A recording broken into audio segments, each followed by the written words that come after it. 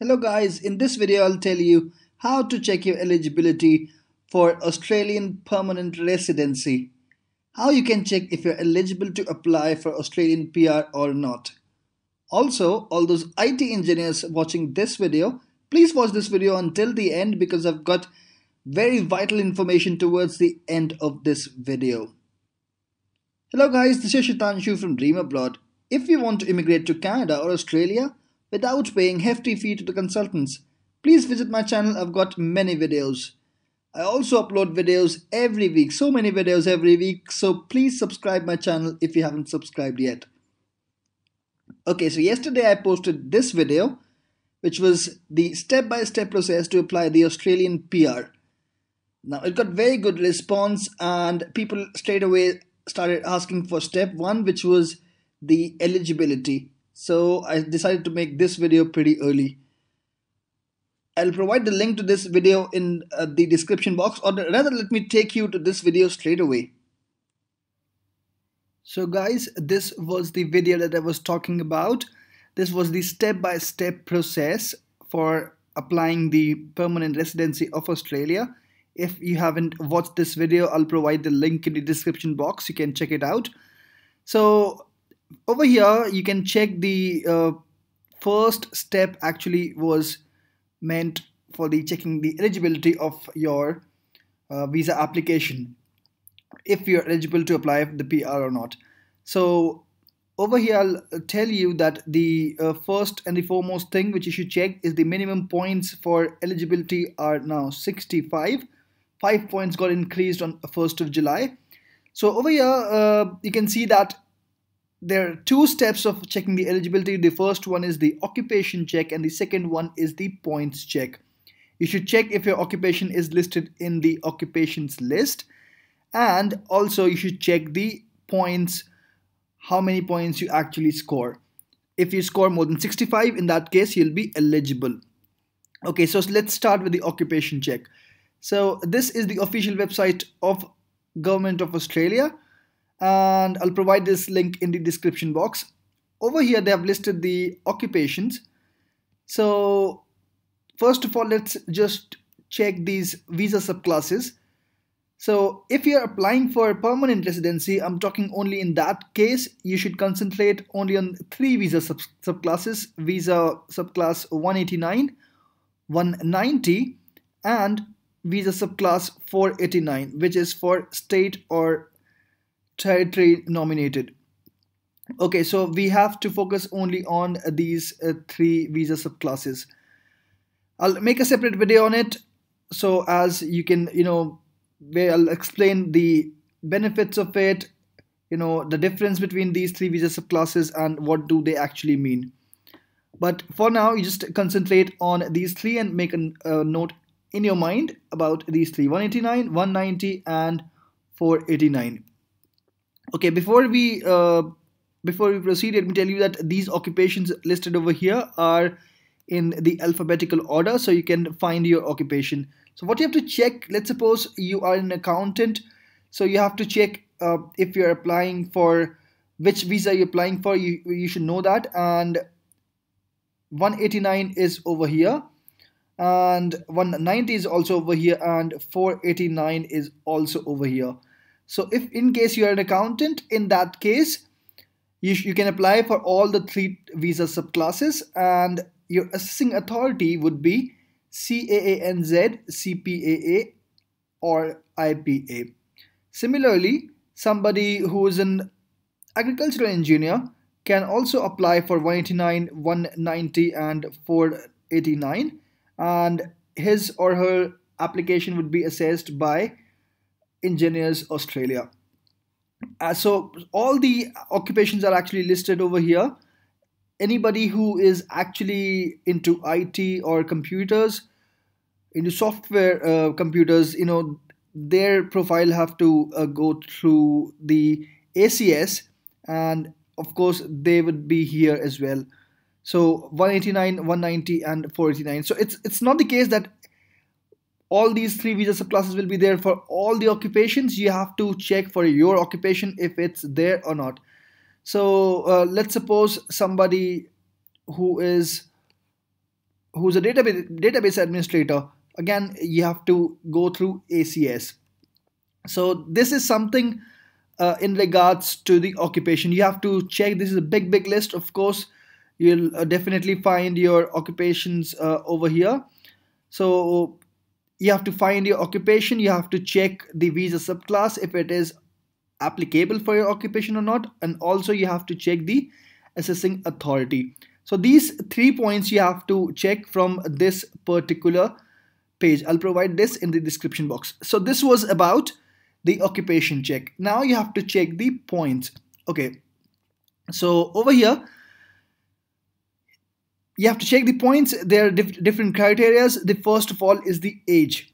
So when you talk of age in that case you'd be awarded 25 points. If you are between 18 to 24 years of age you'll be awarded maximum points which is 30 for people who are between 25 to 32 and so on. So somebody who has got who is above 45 years of age you will not be able to uh, apply for the Australian PR. So this is the eligibility criteria that anybody who's above 45 cannot apply for the Australian PR.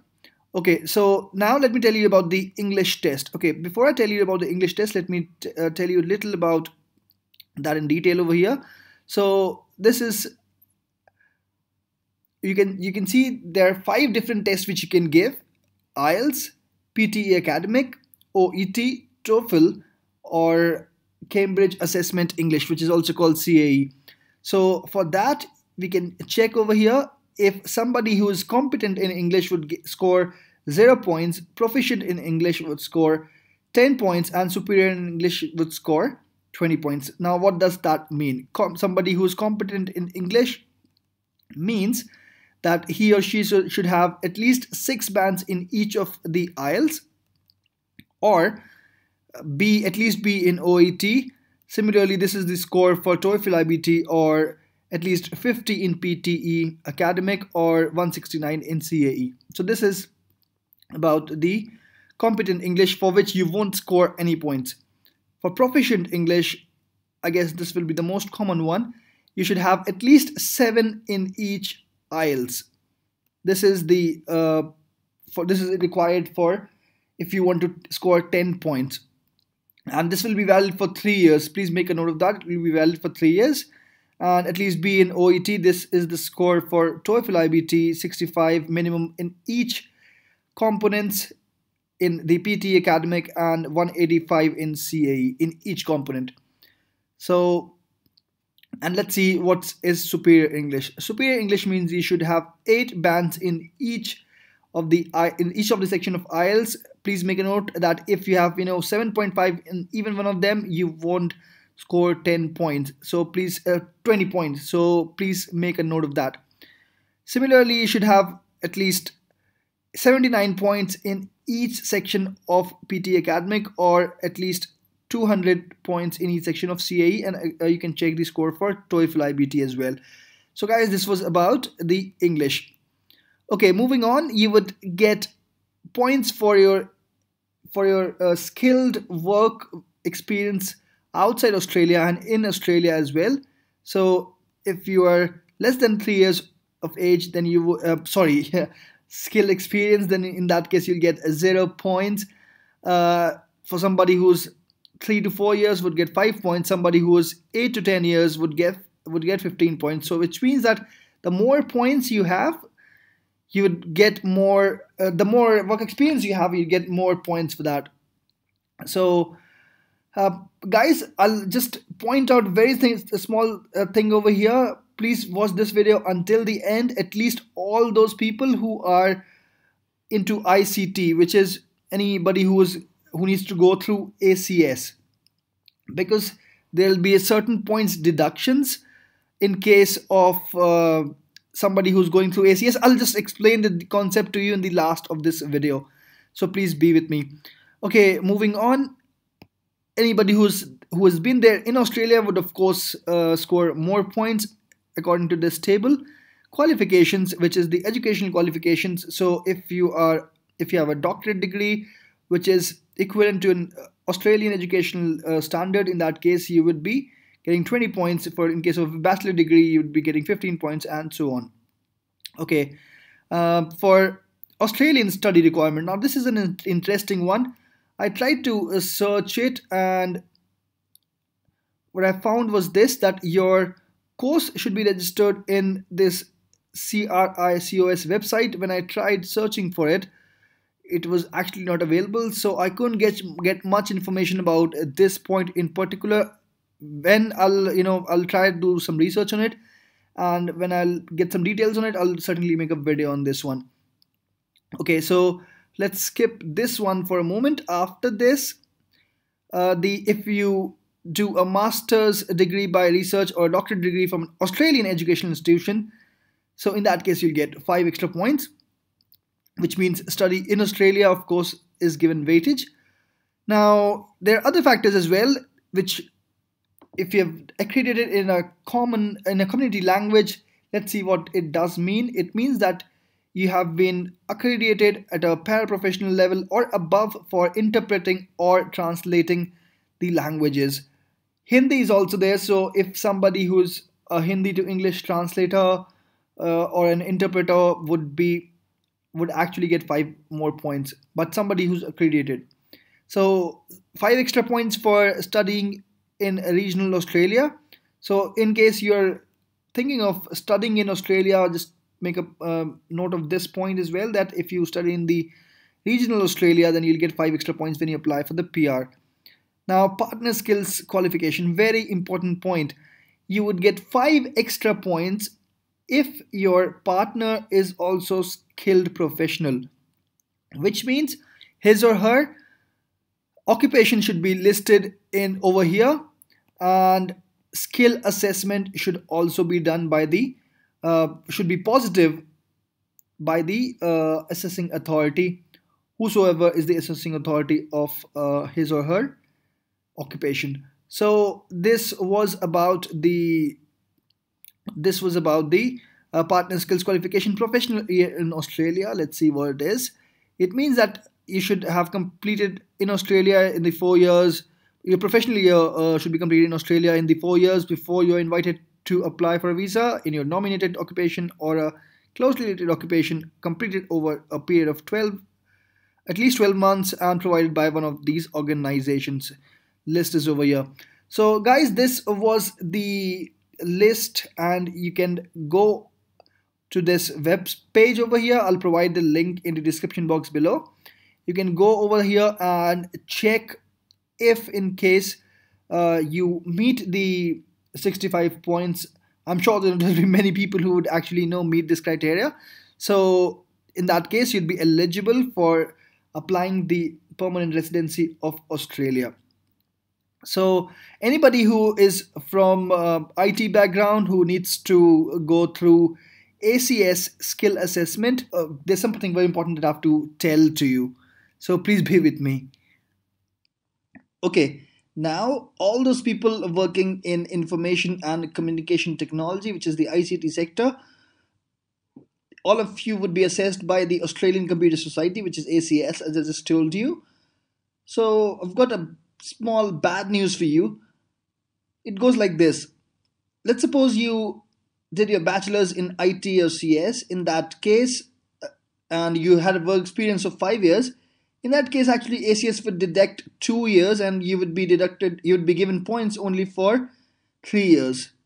If you had, if you worked, sorry, uh, if you worked for, let's say, six years, but your engineering was uh, but engineering was in non-IT field, in that case, you'd be your four years of your work experience would be deducted, and you'd be given only two years. So, guys, please take a note of it that in case you haven't been, uh, you haven't studied from IT and you are working in IT, in that case, four years will be deducted. So you could you should calculate your points accordingly. ACS says that they deducted to meet uh, to meet the Australian standards. I don't find any logic behind it, but this is how it is. Alright, guys. So I'm here the PDF from the official website of ACS, and if I drag you to uh, the to, to examples mentioned over here, let me just uh, quickly search them. they've mentioned it very clearly. They've given two examples over here. The first one is about the employment completed after the qualification. The second one is before the qualification. They've mentioned that let's suppose you complete a relevant bachelor degree with a major in ICT on 31st of January 2008 and you have 4 years of relevant work experience from 1st of April 2008 until 31st of Jan 2012 which means complete 4 years. In that case, 2 years of work experience will be used to satisfy the suitability criteria and your skill level requirement met date will be 31st of Jan 2010 which means straight away 2 years will be deducted. All suitable work experience completed after 31st of Jan 2010 will be considered as the skilled employment and eligible for the skilled migration points test. So it is clearly mentioned over here that the two years of work experience used to satisfy the suitability criteria is not eligible for the skilled migration points test but is assessed to meet the suitability criteria. So straight away two years will be deducted from your work experience and that goes for everybody who has studied from CS or IT background and for all those people who haven't studied from the CS and IT and belong to the other mechanical, civil, electronics, electronics instrumentation, engineering, all those uh, who are actually working in IT, they get four years deducted from their work experience. So guys, thank you for watching this video. This was the complete information that I wanted to provide you. Thank you so much for watching this video. If you haven't subscribed the channel yet, please subscribe. If you think that this video will be helpful to your friends, colleagues or somebody in your family, please forward this video to them.